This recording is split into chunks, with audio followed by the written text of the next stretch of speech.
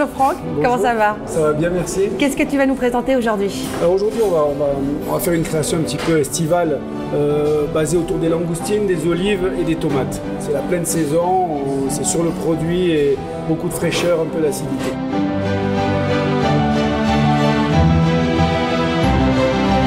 Qu'est-ce que tu as envie de transmettre dans ta cuisine au quotidien La signature du pas de l'ours, c'est on a envie de transmettre des émotions, que ce soit par les assiettes, par le service, par le cadre. Euh, je pense que le, le mot, euh, le mot important, c'est émotion, oui. après produit, etc. D'accord. Bon bah, on va goûter ça. Bon appétit. On y va.